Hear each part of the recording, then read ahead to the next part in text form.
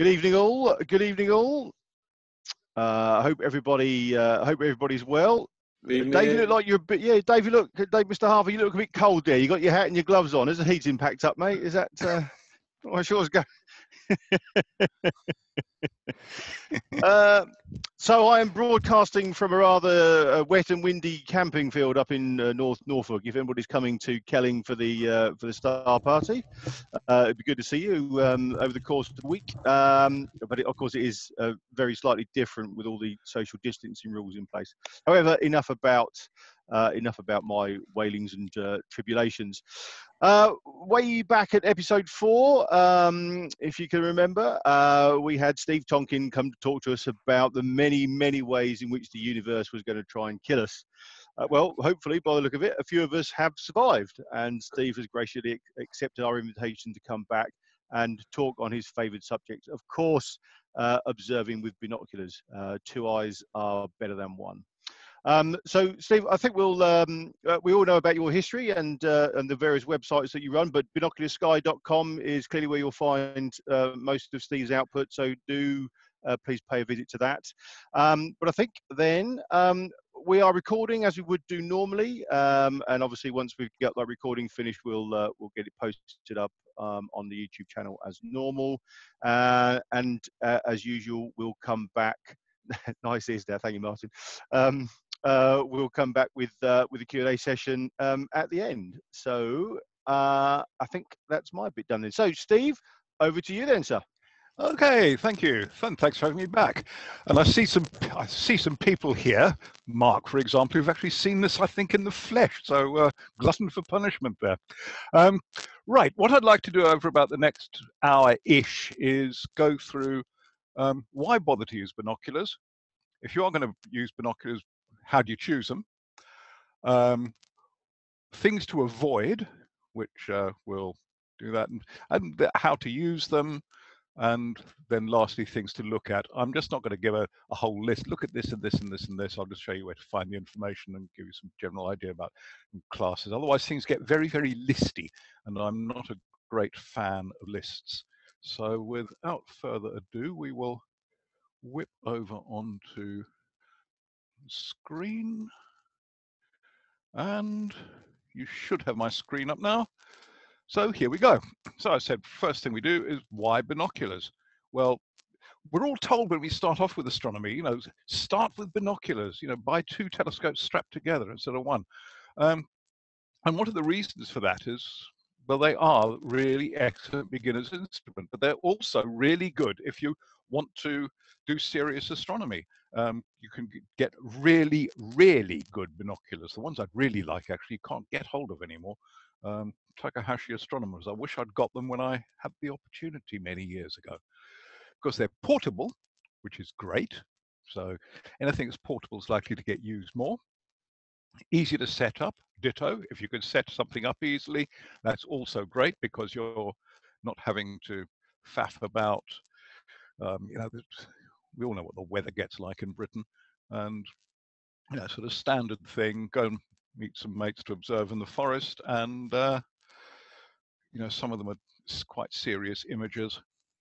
And by the time they're set up and ready, it started raining and everything packs up, and I've already been observing for 45 minutes, even with big binocs. So that's the side of that that's good. And then there's what's called the binocular advantage. And the binocular advantage is quite simply times 1.4.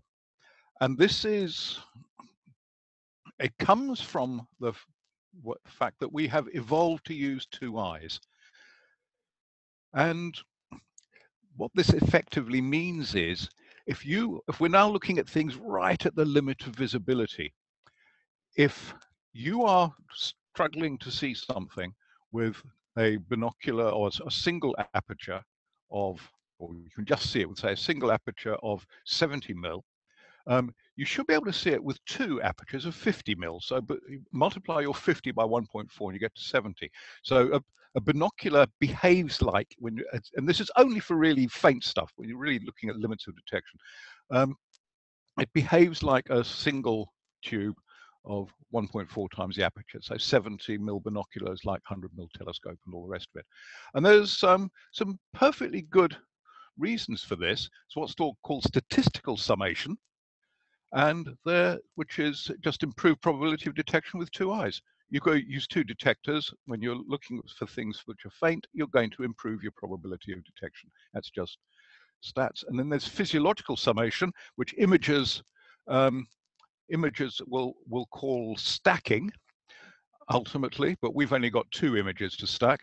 And what it means is if you have if, if you have two pathways to your visual cortex, you get a load of neural noise and you can wipe out some of the neural noise by stacking two images together. And we do it all the time.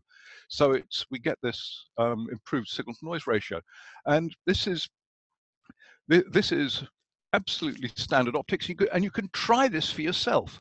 Um, if you look at something that you can just about distinguish with both your eyes open, you know, so take a book further and further and further away from you or something like that. Uh, just when you get that limit, then close your least good eye, and all of a sudden you can't you you can't see it as well anymore. And this is all to do with being involved to use two eyes. So you know, there's good reasons for this. But there's other things as well. So you get false stereopsis. Things look when you use two eyes, and this is bi uh, bino viewers with a single scope as well do the same thing. You you get this false 3D effect. Well, obviously you're not getting a 3D image of something that's light years away. You know, 3D works a hundred yards max, I think. Uh, but it's it really does give you that impression. And if we can't enjoy what we're looking at, then well, why, why bother? Um, and the 3D image, I have to say, is sometimes, because some of it's color based, is sometimes quite spectacularly wrong. Um, in the same way that some of the worst Facebook 3D images, you know, as you move the thing around, are spectacularly wrong. And it has also been said, I've never done this, um, that you it negates the effect of the blind spot that sometimes you thing you're looking at with one eye can fall on the blind spot and you just don't see it and uh, and of course that can't happen with two because the blind spot will be in a different position in the image with the other eye. Um, say I've never actually been told this happens. I don't actually know it happened. So binoculars. What do we want? Well, we divide them into, I, well, I divide them into three kinds. So there's Porro prisms, roof prisms, and things with angled eyepieces. I've put 45 degrees because that's what mine are like. So Porros look like that if you cut them away and the light comes in here. That prism turns the image right way round, left, right. This one here turns it the right way up and then out the eyepiece there. And it's folding the light path, which is quite useful as well. So as well, those prisms, as well, as well as giving you the image the right way round, the right way up, excuse me, uh, will are also making for a shorter instrument because because of the folding, and that means it's easier to hold steadily, easy to mount, and all the rest of it. Um, so that's a ray trace of the light path approximately. Okay. Advantages of Porros is they're generally, although this is changing now with um, improved manufacturing techniques, but they are generally the best quality in any given price range. I'll show you one spectacularly uh, bad exception to that later and they're also relatively easy to, to self-maintain. And if you get the budget ones, um, they are, let's find a budget one here. Oh, uh, things like these.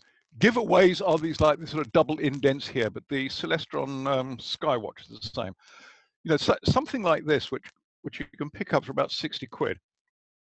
Um, they do have issues with them. You get things like um, the prisms tend to slip, so being able to fix them yourself is is quite useful because it always goes the day after they've come out of warranty. Um, but they're bulkier and heavier than uh, roof prisms, which we'll look at in a mo. And the cheap ones I just mentioned really easily lose collimation. Um, and it's because of the way the prisms are put, and I'll show you that later. Then you sort of have an idea what you're dealing with. Roofs are the ones that look like this and that's the light path. The light is folded inside a prism here. The other thing to notice um, is that the focusing is all internal. Um, and that makes them much easier to waterproof. So advantages of roofs is they're lighter and more compact, much easier to waterproof, and that's largely due to the internal focusing, but they're more expensive because that roof prism inside there has to be made to 90 times the precision of a Porro prism. So they, and that is expensive to do it properly. They also really need something called phase coating um, because of the way the, um, the, same image is, is, split apart and then put back together in the roof. Um, you get a bit of destructive interference, but that that can be pricey if it's if it's done well, and they're much much more difficult to self-maintain. I don't mind stripping down um, prism binoculars and putting them back together again. Um, roofs, I won't touch them. Okay, and the aperture is also limited by the straight through design because they're approximately straight through. If your eyes are say 60 millimeters apart, you can't have tubes bigger than 60 millimeters. If you've got masks like that, well, obviously they can't line up with your eyes. So that's uh, that's a, a problem there. Angled eyepieces, great.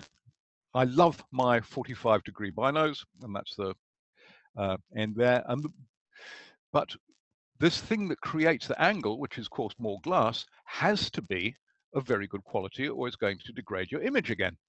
And that means good quality glass ultimately costs money. And I have to say, as astronomers, we are cheapskates when it comes to binoculars. Uh, birders will think nothing of spending over a thousand pounds on a 42 mil binocular. Ha, we will. Right, advantages. Much more comfortable to use. Really high elevations, but they're much more expensive and they must be mounted. Um, it's it's impossible to use binoculars like that if, if they're if they're not properly mounted. And you do need some sort of a finder. So that's there. So what do we want? Binoculars described by two numbers, and that is magnification times aperture. So let's look at a few. Um, I'll take the screen off in a mo. Let's do this directly. So, uh, screen share, stop share. Right, speak view. So, have you got me in your big as your big speaker now? Yes. Yeah. Right. Yep. Great. So, um, eight by forty-twos, little binoculars like this. Great. Anybody can handhold these. Um, I fundraised for. I've eventually got a dozen of these for outreach work, and I, I use them with kids. You know, sort of eight-year eight-year-olds can hold things like this steadily, provided they know how to. Um, something like a 10 by 50, which is uh, getting a bit bigger now, you think? Again, most people can learn to handhold if they're taught to do it properly. And we'll have a look at that in a moment. We then get up to the, the very, very common um, 15 by 70 size of thing, or if you get them 16 by 70s, same sort of thing. People say they can handhold these, and you can for a little while, but they are, it's not really very satisfactory. They're, they will shake, and nobody can really hold 15 times magnification straight. And then you get the much bigger things. So um, go back to the screen share.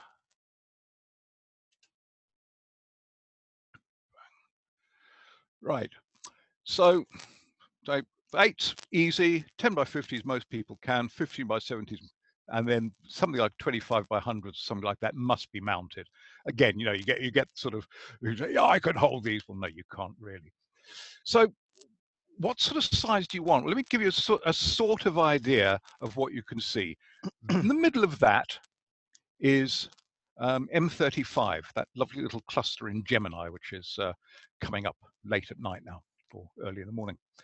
Um, and this is just, it, we'll have a look at what it looks like in different binoculars and, and uh, different conditions of light pollution. So 15 by 70, looks a bit like that. You notice the sky background got darker, it's got bigger, and you can see a bit more in it. You get the big brutes on it, and it's lovely. Okay, light pollution, we'll just compare the either end of that, the 1050 and the 3700. Um, this ones I've been showing are approximately what it's like for my back garden, which is between the New Forest and Cranborne Chase. if I go down to Bournemouth, which we do sometimes because we work uh, with schools down in Bournemouth sometimes, that's the equivalent. And you can see it's sort of washed out, but you ask what you are seeing is that aperture does compensate very, very slightly for light pollution, okay, which of course is why you can use a, a telescope with aperture for looking at first mag stars during the day. Um, but if you go up to somewhere like Loch Loyal, um, or I don't know how dark Kelling is uh, does, but you suddenly see the effect. This is the effect of a pristine night sky. And this is the sort of thing we're actually working for to get on Cranborne Chase at the moment. Uh, uh, International Dark Sky Reserve a year ago got the status. So need to maintain and improve that and hope we can get something like that. Uh, I doubt we will though. There's too much else around. Okay, holding binoculars. Try this. Um, you'll notice the top joint, there's my wife modeling those. Um, the top joint of her thumb fits perfectly in the corner of the eye. Um, come out of screen share, and I will. And that. So you try this. That joint fits perfectly there, and it's comfy. And if you hold binoculars, I'll do it with the little ones because it's easiest. Two fingers around the uh, around the eyepieces, two fingers on the prism housing, and then put them up like that, you've suddenly created a, a triangular structure. So you've got the uh, you've got the advantage of a triangular structure, and that gives you much much more stability. Most people find that much more stable. You think you're going to drop them at first, you're not. Um, I even do that with quite big binocs um, sometimes, big big heavy brutes, and we you still don't get the sort of the dropping thing. Um, I didn't. I didn't realise there's going to be practical demonstrations, Steve. I'd have got my. I'd have got mine out, mate. If I'd have known. Oh, sorry. yeah, I'm. Um, when when I do this as a as a as a proper talk, you know, I bring loads of kit for people to play with. Um, it takes about half an hour just to set the kit up at the beginning of the talk. anyway, so we got a, we got a stable structure here with a uh, basically you know two parts of the arm, then the head neck, creating a, a stable triangle, which, which is immediately gives you a bit more stability. And the other thing is, as you're looking higher and higher, your arms get higher and higher. As your arms get higher and higher, the blood supply to them decreases and they start aching. But if you hold them, if you hold them like that, what you do, what you get is as you're going for, particularly if your head supported as you recline, more weight's taken on your head, which is used to having uh, carrying a bit of weight. Hopefully, you've got something inside it and uh, well, that's it is it's actually much more stable, much much much more comfortable. And once you get the hang of this, it becomes second nature. It's not so good when you're looking at stuff at ground level, I have to say, but it's really good for, for stuff at ground level. What you want to do, we'll come out of that again. So we are whipping backwards and forwards between things. At ground level, do it the way the American military teach you to do it which again is better, which is hold them by the by the objective lens like that. It again, that is much more stable. If you're trying to hold big ones or bigger ones, you can do a, a double-handed hold. So you hold two hands on one side and rest the other side on your on your wrist, the other side, and hold them like that. And that can steady them up as well. There's lots and lots of things, ways you can do this. If you really want to get very, very uh, Stick your arms through the, the strap and brace them like that. Don't push too hard or you snap the strap, but and brace them like that, whichever, whichever way you like to hold them. And that's, if you've ever done any range shooting with a rifle, the sort of uh, lazy sling, when you wrap the rifle sling around your, around your forearm, um, that's the, the, the same sort of principle there. And then there's mounting them. So mounting most people will say, right, we go for a tripod. And so this is what's happening with a tripod. Um, and you'll notice you immediately get start getting this territorial dispute between legs or among legs. And if you're trying to bring a stool into the thing or a seat, you know, you're adding another four legs to this, all of which need to be in the same place. It's also, as you can see here, it's really awkward to look at anything above about 45 degrees elevation. So there, you, you really need to find some other way of doing things. And the thing I really like, but I'll show you a few other bits and pieces before, is one of these things, which is a, a trigger grip head on top of a monopod. And the trigger grip head has a, a quick release plate on it. This is a Manfrotto 222. They're not made anymore, but you can get them really good nick still on um, uh, a certain auction site. And as long as you've got the, the mounting bar here on your binoculars, that just sits in there. Always check that it's locked. And then that on a monopod is really, really easy to use. And the monopod doesn't even have to be vertical. Okay, you can your monopod can be at an angle. I discovered that um, my wife came home one day and I had a soldering iron out and what I was so I wasn't soldering, I was uh, burning a hole. Well, well just would have been just where um, my crotch is, just about on a on a, my favourite garden recliner, so that I could get a monopod down there. I thought that would be the best place for it. Um, did that, and then I realised it was no steadier than having it down the side of the recliner. So you know, it's uh, I didn't need to make a hole in it, but it's still got the hole there for posterity. So it doesn't even need to be vertical, and it's really, really useful thing to have. Right, let's go back. So that's your monopod. Um, Patrick Moore used to recommend these things. They're, they're, called neck pods, which is a silly name for it. Anyway, um, it's basically a strap that hangs around your neck. Um, and then it's like a little monopod on top of it. And there you, you can adjust tensions and all the rest of it. Um, it's all right. It's actually quite a good heartbeat monitor as well. You can actually see, you can see your pulse in the, in the heavens. So that's the monopod, different kind of, these are cheap Chinese trigger grip pay. They come with rubbish instructions. If you do get one of those and want to know how to use it, I've actually written a proper instruction manual and put it on the website. So you can pull that down there. Um, they will be stiff. They will be, never ever lubricate the ball there.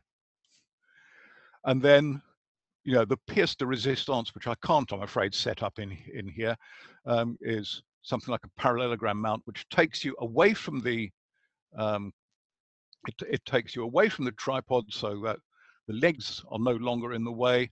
And the nice thing about that, whatever height you put this at, the binoculars are still facing the same thing, pointing at the same thing. So during um, when I'm doing outreach and stuff like that, I can find something and then just drop the parallelogram and um, young kids without having to be held up or, you know, and really find awkward, find awkward can actually see what I've been looking at. So that's that's a nice way to do that. Um, a longer arm one, here's a couple of 20 by 80s on that. Um, haven't changed the setup here at all. It's just the angle angle of photography is different. So that's standing, looking with binoculars, and then um, putting out a recliner and lying down and doing it. So that's that's the beauty of these things, and really, really enjoy um, just scanning the heavens with some with something that is is nice, nicely engineered, and you can lie back comfortable. Yes, I have sometimes fallen asleep doing that, or you can you don't have to go for things like that.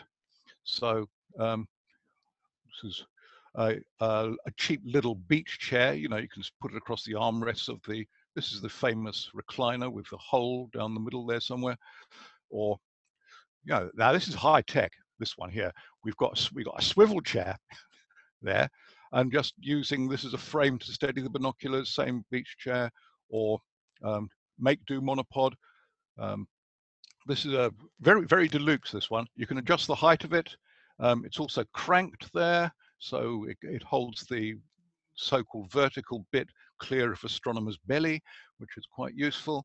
And uh, you just bungee um, binoculars to the to the top end, and it's perfectly adequate. It's not good, but it's you know make make do and anything you can use to steady your arms and hands is great. um, fences, trees, the ground, um, uh, just just about anything, rooftops, uh, car car rooftops and such like. Or there's the other extreme. This is uh, basically it's a computer controlled chair. It's a, she's in a she's actually sitting in an Altaz mount with socking great 40 by 150 Fujinons in there. Yeah, um, it's called a star chair. It's actually not made anymore, but this is the sort of thing people were, were going for, and this will hold just about anything. And you just dial in where you want to go, and zoom, it takes you there. So those are, and people are making their own type of things that do that now. Some of them powered with things like drills and bicycle chains and all the rest of it. Um, the amateur telescope scope making community is very, very creative. Dew becomes a problem whenever you've got anything mounted because it's spending much more time pointing upwards.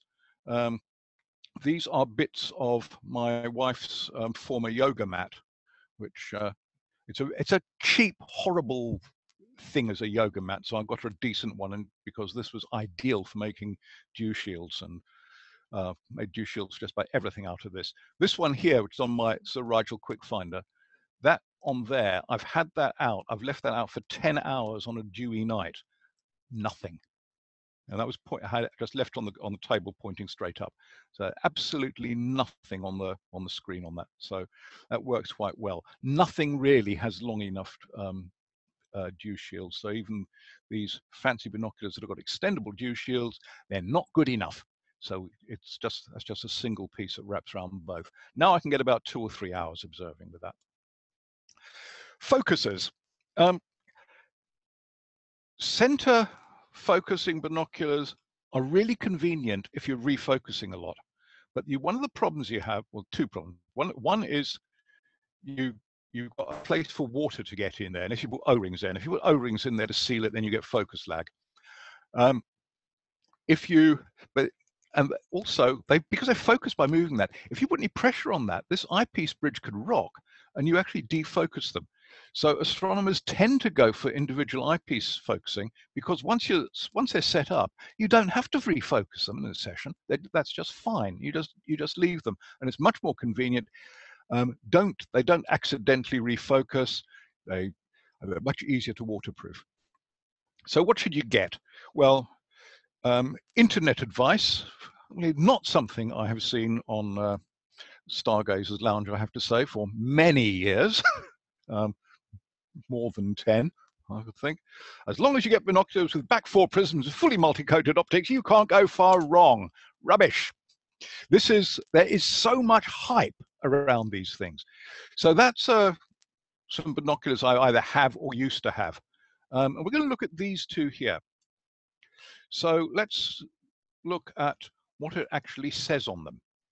So this is a 15 by 70. So is this broadband fully multi-coated, fully broadband multi-coated. Yeah, so they must be the same, yeah? BaK-4 prism, BaK-4 prism. How different can they be? Well, let's find out. First of all, this business about BaK-4 prisms. It's um, you'll notice on the top one here, which is using borosilicate glass. Uh, BaK stands for barium crown. BK is, is borosilicate crown. Um, you've got here some little gray cutoffs. And that means right at the periphery of the field of view, ultimately, you're getting a little bit of vignetting. It's, it's being faded out. You, how often do we really have our object of interest right near the edge? We put it in the middle. It's not a, it's not a big deal. You don't get the same thing here when the, uh, with the BaK-4, the, the barium crown. But what you do get is something very, very different. I mean, look, look which has got the better stray light control. Now, I would argue that actually this might be the better binocular because stray, stray light is a pain and this one's got terrible stray light control. Um, and if you anyone into bino viewers, you know, your really good ones like the Denkmeiers, guess what glass they use? This. It's not bad glass. It's just you know, if it's used inappropriately, if you've got really, really wide angle binoculars, so 10 by 50 to eight and a half degrees or something, yeah, that, that is going to be a bit awkward. But um, but generally, it's not, it's it's really not as much of a problem as people make. But it gets even worse than that. Um, the Chinese BaK-4, which has got this way of writing it, all capitals, isn't even a barium crown glass. They've just used the same designation as Schott AG, the German glass manufacturer. Uh, it's not the same glass. It's actually a it's actually a phosphate crown glass, but BaK-4's got a good name. So yay, this is this is marketing. This is just marketing talk. Um, and it's but that okay, phosphate crown isn't necessarily bad, but what it does have, it's got a hundred times the permitted inclusion rate that this other one has. And what that translates at is a slightly milkier image, which you can actually see on brightly colored flowers on a nice sunny day or something like that. You can tell the difference immediately between the two. More important with the prisms is how they're held in binoculars. Decent ones are held in, that's a proper prism cage here.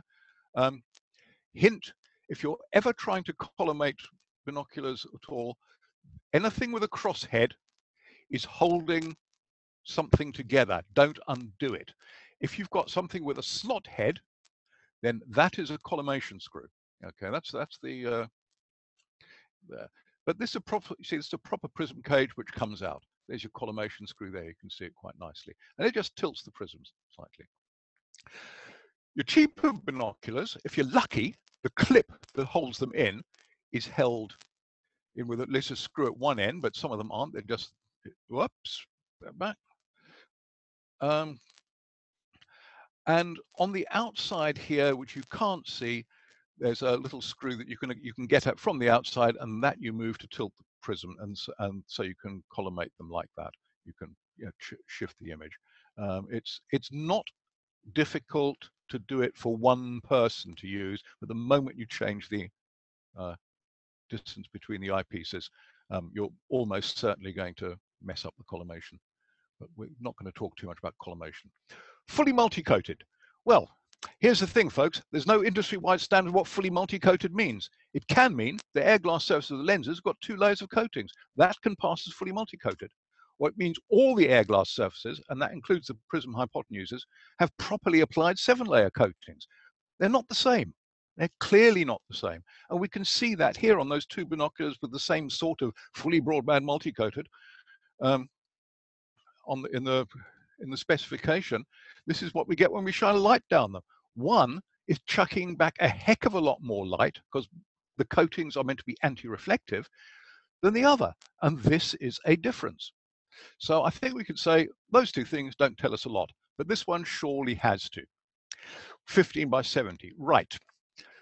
That there is the 15 by 70 I showed you earlier. This is just a setup on my kitchen work surface um, bit of baking parchment, uh, laser here, um, going green laser pen going into an old finder because I wanted a broad parallel beam coming out and uh, proper beam, broaden, beam are expensive and a finder does the same thing. So the idea is you've got collimated light going into the eyepiece and that will basically trace your light path for you.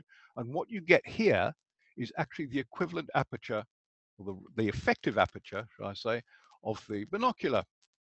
And that's what it, I had scale in front of it.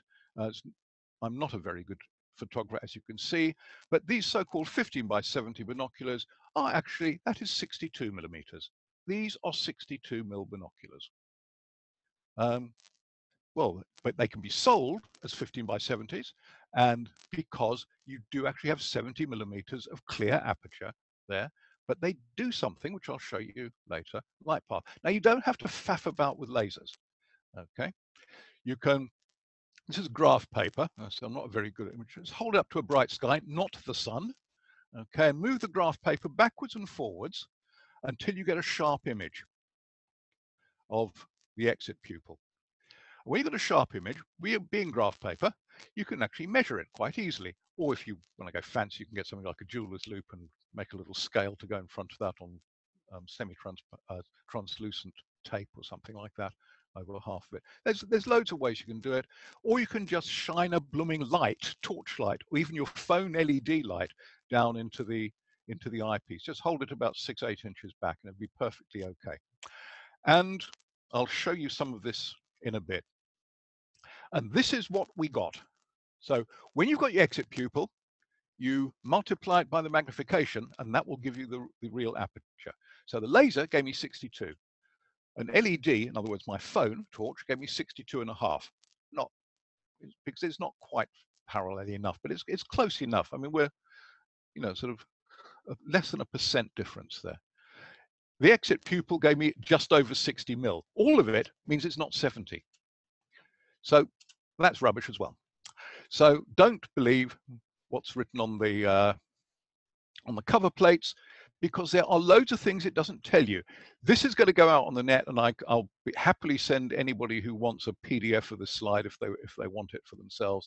These are things that make a load of difference, and there is no way you're going to be able to get this from the specs.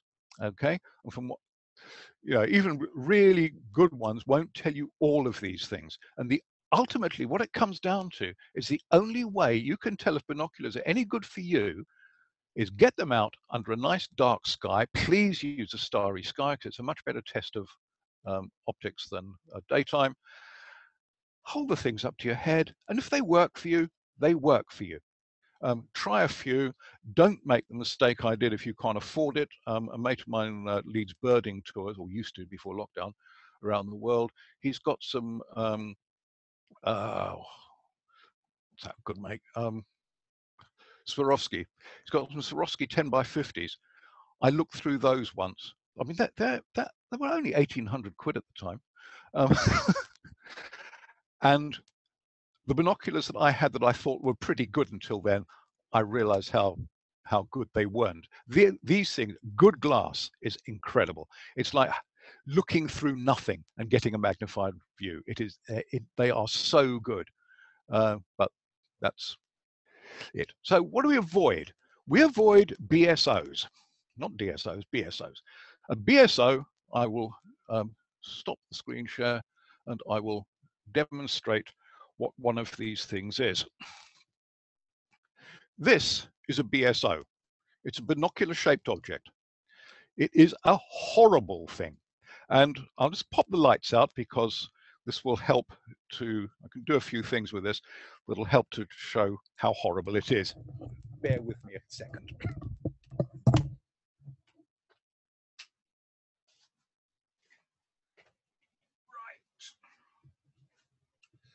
We're going to use the screen, the um, I'll put the microphone somewhere near my mouth. We are going to use the ceiling as a screen. Here we go. Doesn't have to be perfect, but that should be good enough. Now, the first thing we need to know, understand, as I've mentioned before, is what coatings are for. Coatings are meant to be anti-reflective. Um, these little binoculars have the best coatings I've got on anything at the moment. So I'll use those to show what a good coating does. And here we go. Now we're reflecting light off the coating and you can just about see a little bit of it on the ceiling there. We take this abomination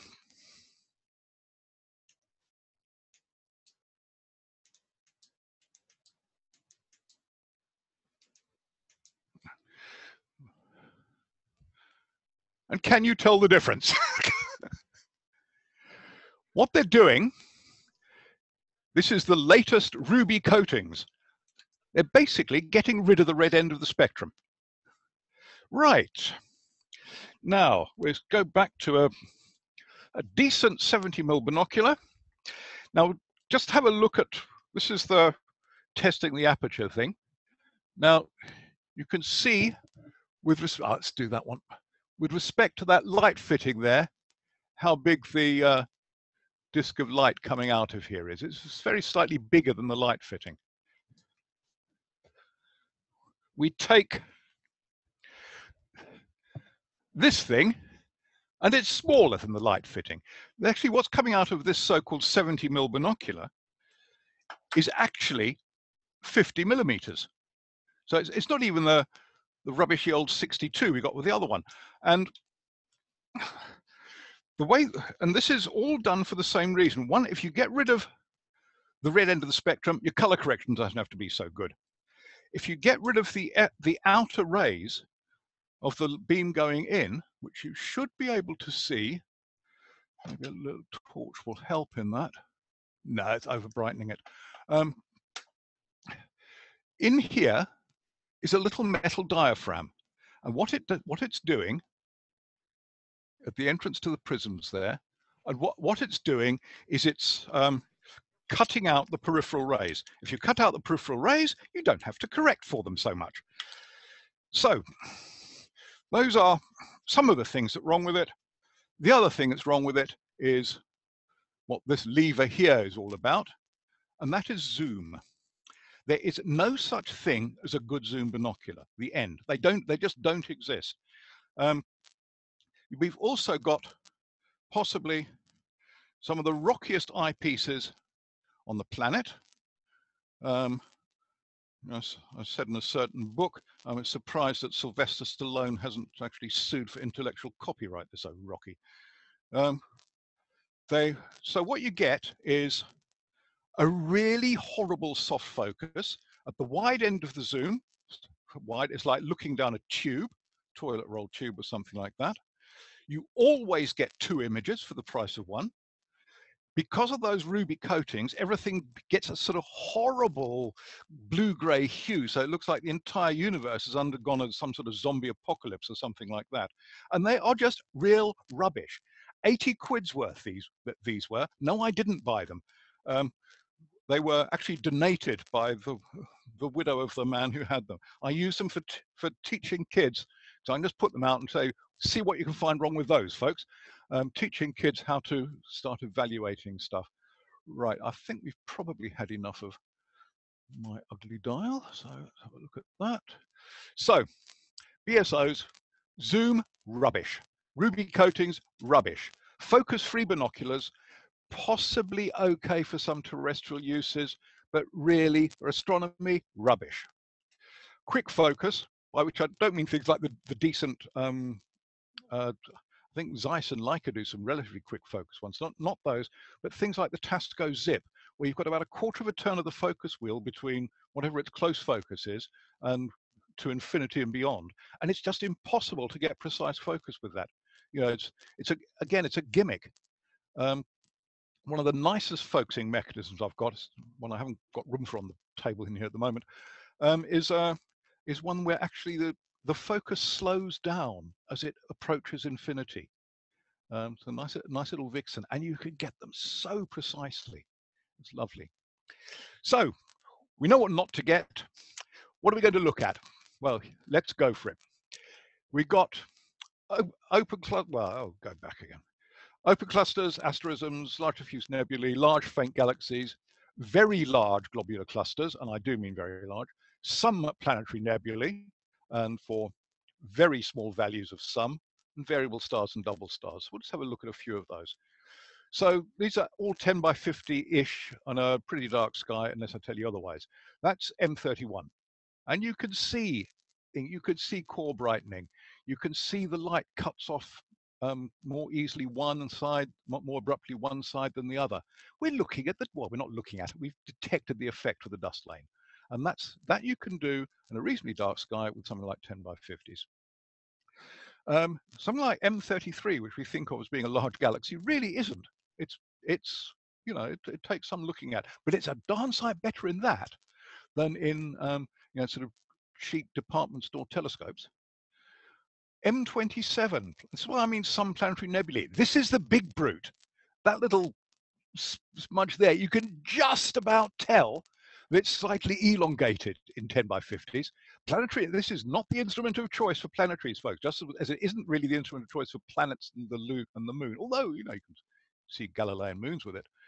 Um, but, you know, I've seen Galilean moons with little cardboard bodied plastic lens things. I've seen um, um, Callisto, Right. M13 looks about yay big, and that's the big brute. Okay, well, M22 is actually bigger, but it's more difficult to find and see.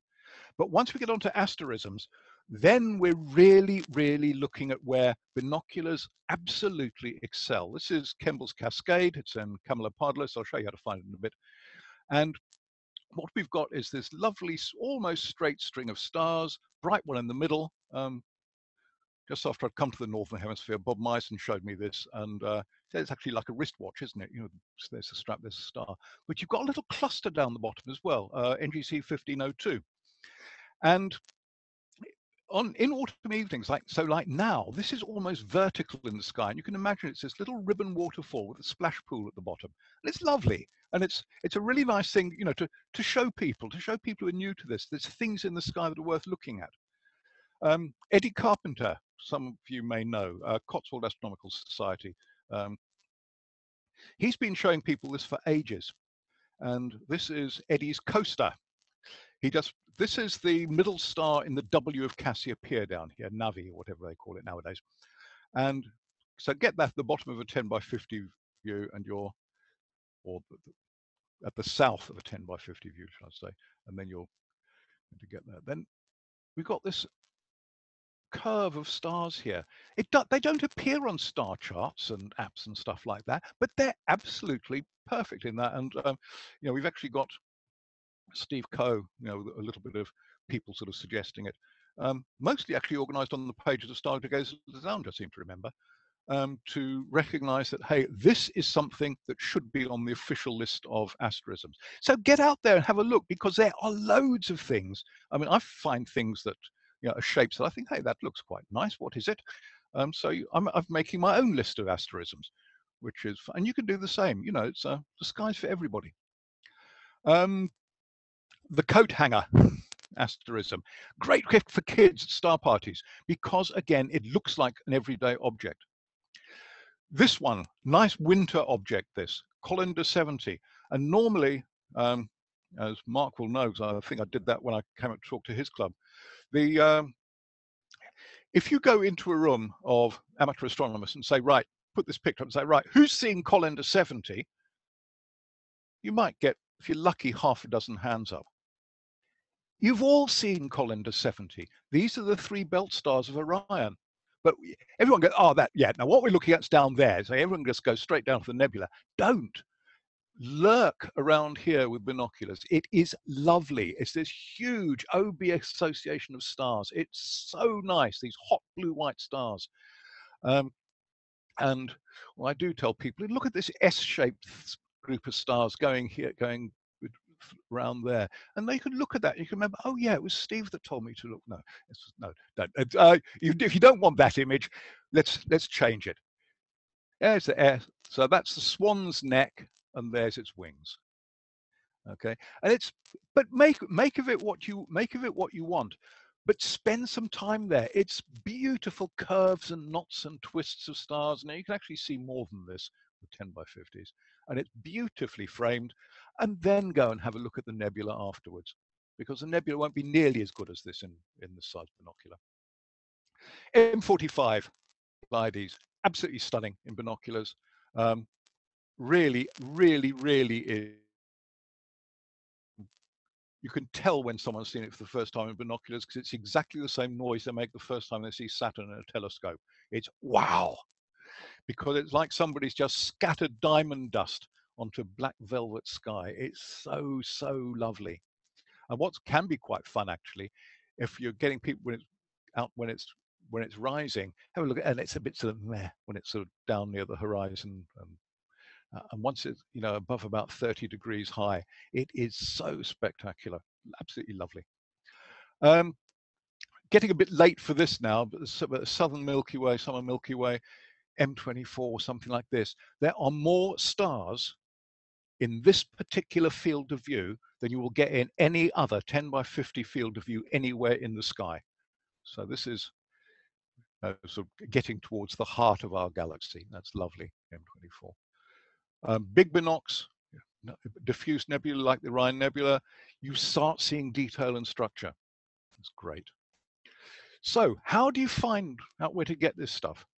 Well, probably most people know, I write a monthly binocular tour for Sky at Night Mag, and there's um, just six objects in there, all in the same part of the sky.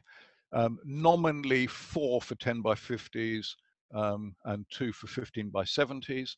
Well, here's the thing, folks. Because of this stopping down problem that we have with binoculars, and most people starting out for this um, won't may well have budget binoculars. All the 10 by 50 ones I can see with 40 mil or, or less, and all the 15 by 70 ones I can see with 50 mil or less. So that they, should all be possible. I once made the mistake of putting in something which I did actually need 70 mils to see, and nobody could see it. So never again will I make that mistake. Um, just try and keep things there. And a lot of um, clubs I know use this as part of their sort of beginners program. So that's a useful one. Or every month I produce uh, this thing, which is Binocular Sky newsletter, just tells you what's in the sky at the sky at the time. So we still got August stuff up on here, but that doesn't really matter. This so that and that's completely free, and you can just subscribe to it and that. Um, and you can get that at my website, which is binocularsky.com, which is, whoa, there we go. Uh, also on there is stuff to find. So you can put in your your observing area criteria. So your latitude and put in your horizon altitude. So if you know if you've got gunge up to or trees or whatever up to 25 degrees, no point in me chucking out objects to do, there. I was really just doing this as an exercise in teaching myself how to um, of try and work with databases. Um, you can multi-select of object type, constellation. You can't, obviously you can't multi-select limiting magnitude. Um, you can select your binocular aperture.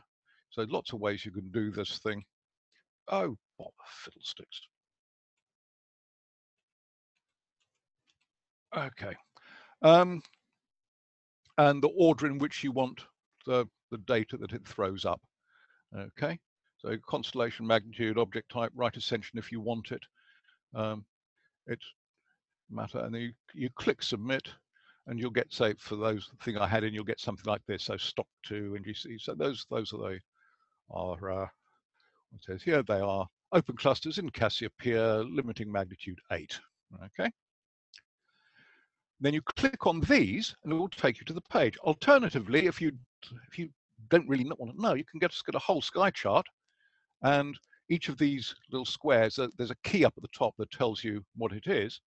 Um, each one of these little squares um, is an object. You hover over it and it will tell you what it is. You click on it and it'll take you to the object page. And this is what an object page looks like. So back to Kemble's Cascade. It has a big chart to show you whereabouts in the sky it is. It tells you what size that aperture ring is. So this is, say, for, for 10 by 50, it's approximately five degrees because they almost all got five degree clear aperture or bigger, uh, a field of view or bigger. Okay, tells you how to find it. In this case, you'll go out and find Kemble's Cascade tonight because do, because it's lovely. This is the W of Cassiopeia. You take the distance between those stars there, You could measure it with your fingers up in front of them like that and move it along exactly the same amount and bang, you'll be on it. Get the, get the binoculars there. If you don't see it, go slightly higher. Almost always, if, we, if we're missing our target, where we think it is with binoculars, it's because we're too low. Okay, so it shows you how to find it. Um, and then we've got sort of uh, ordinary finder chart and um, image of approximately what you might see and a description of it and stuff like that. So that's that's there. There's um, I'm just over 300 objects in the database at the moment. So my aim is to get up to 600 um, while I'm still on the green side of the turf, COVID permitting. Right. Alternatively, um, keep me and my family in food for Christmas and all the rest of it by buying a copy of this or this for everybody you know. Um, either I think this one, some people have said it's the most comprehensive book on binocular astronomy ever written. Um, some people don't like it. Okay, I think it's too much about the binoculars, not enough about the astronomy. I'm beg to differ, but uh, yeah. And this one here, I pulled, I brought out um, a couple of years ago because people tell you start with binoculars and then they don't tell you how to do it.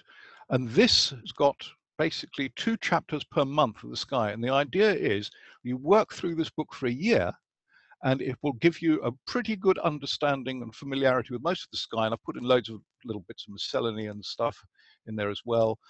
The problem with, and it says so on the back page, it's intended for use with a decent star chart because I wanted to keep the price right down to make it as available as possible. Um, so the charts in here are monochrome and they're actually too small.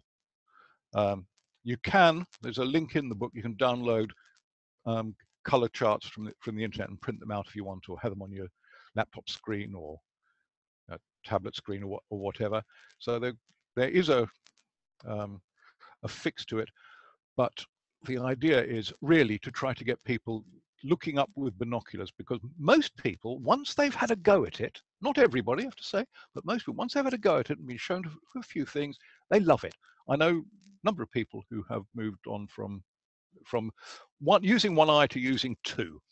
So that's uh, that's me. This is binocular astronomy. Um, thank you for listening if you're still there, and uh, I will hand you back to uh, Daz and Grant. So Steve, that was great. Thanks, uh, thanks very much indeed. Uh, I have to say, it's one of my one of my favourite things when I come to star parties. I, have got a I've got a pair of uh, 10 by 50, probably like uh, like most people. Uh, is uh, I, I, sit on the dark side of the um, of the hobby. I'm afraid, Steve. When the camera's doing its bit, I had nothing better than sitting in the chair with binoculars and scouting scouting through the skies. An M45, yep. you're right, is, is absolutely gorgeous in my binoculars. Yeah, yeah, it is. Well, I'm, you know, I, I do the dark side as well. I'm just not very good at it. Yeah, yeah. We all we all say that. We all say that. Absolutely. No. Uh, well, well I spent two and a half. Uh, uh, no, we don't want to go there. right. uh, quick question: the, the, the technique about holding the uh, uh, binoculars is there a slight modification for people that do wear glasses? I haven't got mine on, but I, I do take mine off when I've got my binoculars up. But obviously, some people are not able to do that. Is there a modification to that grip that that takes the the spectacles into account? Yeah, I because I do sometimes wear my specs. Let's just get that up there, um, like that. So I just hold them again. I put my my thumbs under my spectacle arms, like that, and just hold them in front of my specs. So they're, not, okay. they're not actually touching, and it's so it's. I mean that that works for me. Um, the other thing which I possibly should have mentioned is all my binoculars now have this gadget on it. They're called they're called a Bino Bandit. Um, they come in various sorts of where's the other one gone? Various sorts of camo incarnations. Um, so the reason they're called a Bino Bandit is you know, it's the, the, sort of Zorro look, you know, it's sort of. Uh, okay.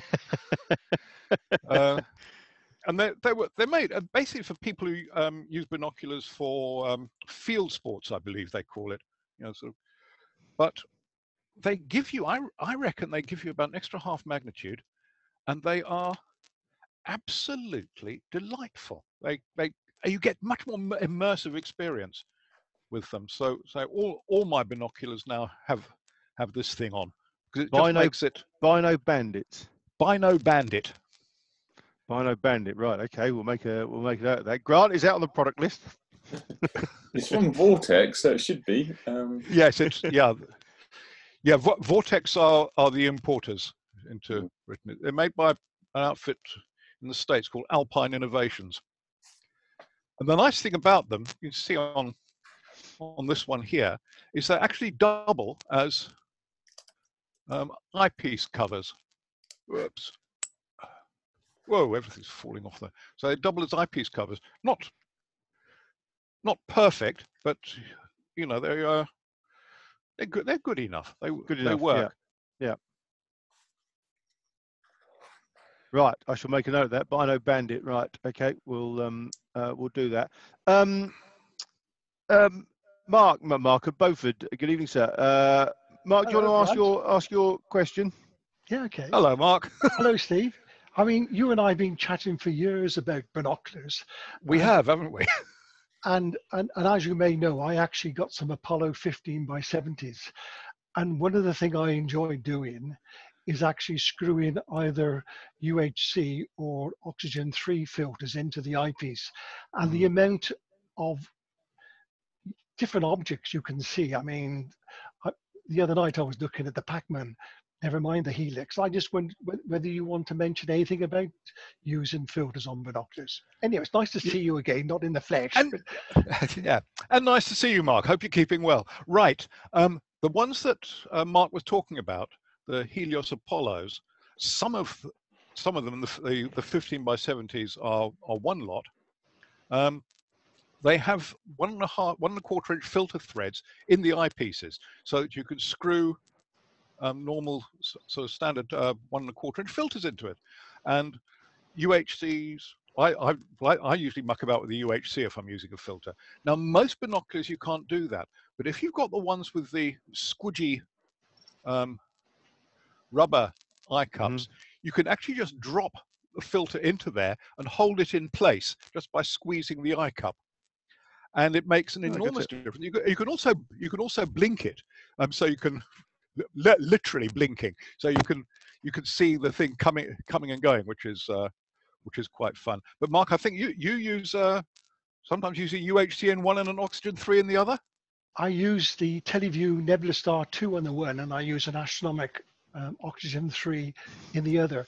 In fact, um, about a week ago, I actually used the Televue NebuStar in the one and a Lumicon UHC. And I was actually able, because my garden's quite dark at the bottom, I was actually able to see the California Nebula. It was it was Whoa. glowing. So that, yeah. that, I mean, it's just it's a thing you would never see normally. But I I got the glimmer of the California Nebula with the with the 15 by 70s. Yeah, you can, you can just catch it on a really good night when it's high up, with, without it. But yeah, it's a really difficult object, isn't it? Yeah. I, right. I didn't realise that, uh, uh, you, uh, and that's a good tip actually, putting the filters in, in the eye cups and just uh, squeezing those. But I didn't realise that yeah. you got. Um, I'm sure you could 3D print something, Daz. I reckon you're probably right, mate. yeah, and the, the th- of course the thing to to be, to be aware of that, and this is one of the problems with the Helios Apollos, because of that, with it with the Helios Apollo, you're losing a lot of your a lot of your eye relief for spectacle users, and they're not, and though they're not brilliant for for spectacle users if you've got that because your your eye relief is actually measured from the back of the lens, not from where, where you can actually how close you can actually get your eye to the thing. Okay, and that means um, and and, and that means for a lot of spectacle users, they just, they just don't work. Um, the yeah, and the, of course, if you've got these twist up eye cups like this, then of course the filter thing doesn't work with that either. Uh, yes, my um, uh, what have I got? My mine has got the I can't remember the brand now, but mine has got the twist up eye cups. But uh, but as, as Grant says, I'm fairly sure I could uh, 3D uh, print something to uh, to hold the filter in place and slot it over the top or something. But um, there we go. Yeah or or take the filter out of its um, one and a quarter inch cell holder and maybe something a 3D printer drop into. Yes, mm. yeah, absolutely. Hold the filter there, It'll give you give you more leeway with it. Well, we've got a whole bunch of cloudy uh, winter nights coming up, so there, that'll be something to think yeah. about. Uh, that'll be something to think about on that. Um, excellent. Uh, well, Steve, that was very comprehensive. Uh, the questions have gone uh, have gone very quiet, but lots of thanks for the um, lots of thanks for the talk. Uh, so again, the recording will be up, and obviously links to links to Binocular Sky will be there as well. In fact, that's one thing I'm going to do tonight is now going to have a play on. I've always wanted to see Kemble's Cascade, and I always always manage to miss it. So I'm going to go off and get a find chart for that one now. yeah, do do that. There's uh, yeah, I know some p- few people around here from around our way. So David and Peter, our skies are clear, mate. Get out there. I think that's why Dave had his uh, his hat and gloves on earlier. He, uh, yeah. he was out plate solving and getting and getting set up. Yeah, when you finish with those guys, can you send them um, slightly over to the uh, to the east of the country, please? That'd be great. Thank you very much.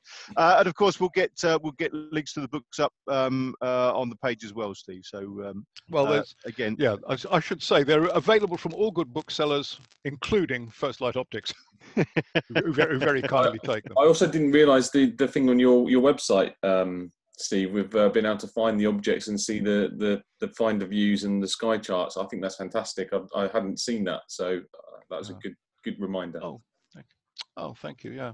No, yeah. It was it really. I was, I was trying to teach myself how to, you know, sort of use databases and stuff like that. It's, it's but nice to, to have done 300 objects, that's phenomenal. that is good. Yeah, yeah. That's some going. So uh, yeah, because of course it's not just you know it's not just the whole setting of the web page. It, it's it's the information as well, isn't it, Steve? It's mm. uh, you know getting that write up done and getting the um, uh, the charts and uh, the whole. Yeah, it's uh, yeah, absolutely. It's uh, yeah, great effort, great effort. And like I say, I'm definitely going to go off and um, uh, to go and find Kemble's Cascade. So I'll Yeah, I'll, do- I'll do keep that. you keep you posted on my success or otherwise. Oh, last, Right. minute, last minute question from Alien 13. Why did 7x50 bin- binos fall out of favour? Um, some of my fifties um, with really came into favour with military, and particularly the navy, because they're easy enough to hold steadily to see something on the heaving deck of a boat. Um, there are some, but I think very few objects which are actually better in seven by fifties than ten by fifties. As we get older, our eye pupils don't open as much, so the seven by fifty is- effectively becomes a you know, a seven by 40 or something like that. So we're, we're losing light anyway. So we might as well either get a smaller binocular, like a 10, uh, 8 by 40. Um, but 10 by 50 gives you more magnification, which means it darkens the sky background. And I think you get better contrast. And I just think they are, I see more with them. Now, other people disagree. I know um, Ollie Penrice, he much prefers his, his 8 by 40s. Um, they are smashing little binoculars, I have to say. Hmm. Um, but you know, there's it's it's a case of finding what works for you. I think Happy Cat's put put up there. You know, she said not not going to not going to receive the specs. The blocks work well, and I don't want to see what they're not and what they say on the box. Exactly. If they work well, that is the definition of a good binocular. Is what works for you. And most of us find that if you can hold them steadily, a 10 by 50 seems to be the sweet spot. Excellent. Yeah. Thank you very much, Yeah. Steve. Uh, Grant, who's um, who's on um, for next week, please? Uh, so we we were having a bit of a break next week because um, of, of Kelling and a lot of people being there, um, and we haven't got a speaker lined up. So we'll be returning a week after that with hopefully Oh, okay. something a bit different. So Yep, yep. to be announced. Oh, actually, there's uh, there's another one uh, coming just at the last minute. Um, Mark Henthorne says uh, you made no mention of uh, binocular mirror mounts. Do you have an opinion on them, Steve? Yes, it's not very polite. Um, um, no, some some people swear by them, and I, I know this. And there's you know there, some people find them really really useful.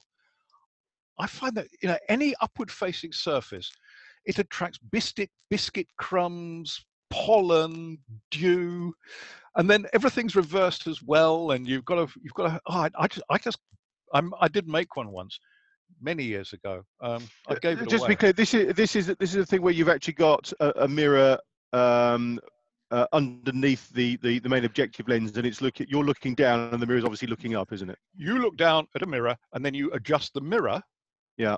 to move your way around the sky Yeah. Okay. and there's um i just find them uh, such a faff and i th- i think the fact that nobody's making them commercially anymore is a um indication of how popular they are. But but, some some people really really like them. And i suppose you know if you've got neck problems or something like that and find it much much more comfortable looking down then yeah absolutely you know if it if it works for you use it. The other Yeah. thing i didn't mention was image stabilized either. Um mainly be, I, I think they're great. Um, don't get me don't get me wrong but i think i can see with what my decent 16 by 70s and a monopod and trigger grip head cost i can see more much more with that than i could with image stabilizers costing the same amount so it's, it's for me it's bang for bucks but for if but if you want something really really portable that will show you much much more yeah, image stabilizers are great particularly the Canons and catching up our Opticron so that's Okay. That's interesting. Yeah. Yeah. But as you say, they're not uh, they're not the cheapest things, though, are they? No, no, it's Yeah. it's and the, the the Canons now are, are using the same image stabilization they use in their top end lenses now, which is which is why you know you sort of you look at the price of the uh, the Canon. I think they're 10 by 42s or something or something. I can't remember now. ELs. Um, you know they're, they're the you, you might want to think of taking out a mortgage first. they are they they are they're pricey, but you know that's but you, you're you're paying for good glass and and innovative electronics. It's Yeah. yeah Yeah. Yeah. Very true. Yeah. Very true. Uh, excellent. Right. I definitely think that is it. Then there's the, there's no more coming on that. So uh, so once again, Steve, uh, great to see you again. Thanks very much indeed. my pleasure. Steve. Thanks for asking me again. And Good night, everybody. get out there, folks. It's a lovely night tonight in the south of England. So have a have a good one. Cheers, Yeah. guys all. Cheerio. Yeah. Night, Thanks night. everyone. See you in a couple of Night weeks. all. Thank you. Bye-bye.